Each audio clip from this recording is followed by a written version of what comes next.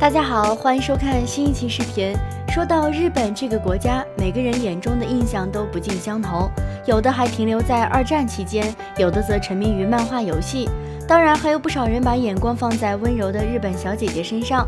不过最吸引游客的还是日本的风俗，虽然其中有许多让中国人难以理解的内容，但整体来说，日本风俗还是很衬托这个整洁有序的民族的。举个最简单的例子，日本人普遍习惯室内脱鞋。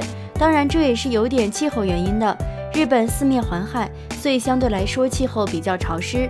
尽管街道很整洁干净，但由于雨水充沛，如果进门不脱鞋的话，就很容易弄脏地板。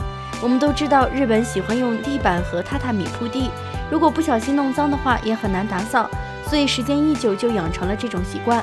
为此，就有小伙伴好奇了：不是说日本很潮湿吗？香港同样也靠海，很潮湿，所以才有了“香港脚”这个说法。想必日本有这种毛病的人不在少数吧？自己倒还好，要是客人有脚气怎么办？其实这种问题在日本是很常见的，但对于注重礼仪的日本人来说，即使客人有脚气，也不会大嘴巴说出来，或是做出失礼的举动。所以为了解决这种尴尬，在日本许多药店甚至便利店中，最常见的就是各种除脚臭的喷剂和空气清新剂。一般到别人家做客前，他们都会格外注意自己有没有脚气问题。好了，今天内容就到这里了。喜欢的小伙伴记得关注、转发、评论、点赞哦。